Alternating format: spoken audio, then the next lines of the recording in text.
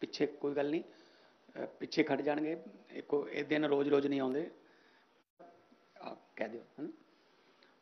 ਆ ਜਾਓ ਆ ਜਾਓ। ਆਪਣੇ ਹੀ ਨੇ ਸਾਰੇ ਕੋਈ। ਸਭ ਤੋਂ ਪਹਿਲਾਂ ਭਾਰਤ ਦੇ ਸੰਵਿਧਾਨ ਮੁਤਾਬਕ ਲੋਕਤੰਤਰ ਦੀ ਨੀਂਹ ਜਿਹੜੀ ਹੈ ਗ੍ਰਾਮ ਪੰਚਾਇਤ ਅੱਜ ਸਾਰੇ ਪੰਚ ਸਹਿਬਾਨ ਲੋਕਾਂ ਦੁਆਰਾ ਚੁਣੇ ਹੋਏ, ਹ- ਵੱਖ-ਵੱਖ ਬਲਾਕਾਂ ਦੇ, ਸੰਗਰੂਰ ਜ਼ਿਲ੍ਹੇ ਦੇ, ਨਾਲ ਉਹਨਾਂ ਦੇ ਆਏ ਹੋਏ, ਉਹਨਾਂ ਦੇ ਪਰਿਵਾਰ ਦੇ ਮੈਂਬਰ ਤੇ ਬਹੁਤ ਸਾਰੇ ਸਰਪੰਚ ਸਹਿਬਾਨ, ਲਗਭਗ ਕਈ ਪੰਚਾਇਤਾਂ ਹੀ ਆਈਆਂ ਹੋਣੀਆਂ ਪੂਰੀਆਂ ਦੇ ਪੂਰੀਆਂ। ਨਾਲ ਦੀ ਨਾਲ ਸੰਗਰੂਰ ਤੇ ਧੂਰੀ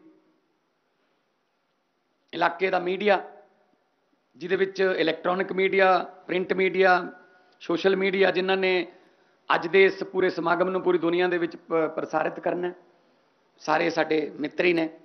ਮੈਂ ਸਾਰਿਆਂ ਦਾ ਬਹੁਤ-ਬਹੁਤ ਧੰਨਵਾਦ ਕਰਦਾ। ਨਾਲ ਸਟੇਜ ਦੇ ਉੱਤੇ ਬੈਠੇ deputy commissioner Sangrur SSP Sangrur IG Mandeep Sidhu ji, Sangrur ਤੋਂ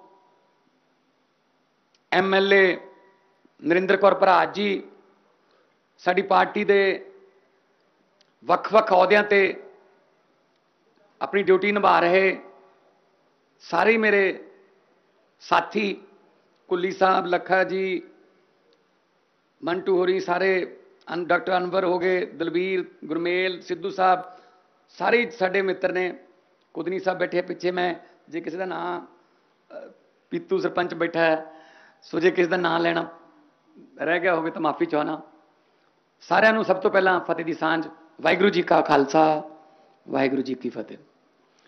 ਅੱਜ ਦਾ ਫੰਕਸ਼ਨ ਕੋਈ ਰਾਜਨੀਤਿਕ ਫੰਕਸ਼ਨ ਨਹੀਂ ਹੈਗਾ। ਅੱਜ ਤੁਹਾਡੇ ਲਈ ਇੱਕ ਬਹੁਤ ਵੱਡਾ ਦਿਨ ਹੈ।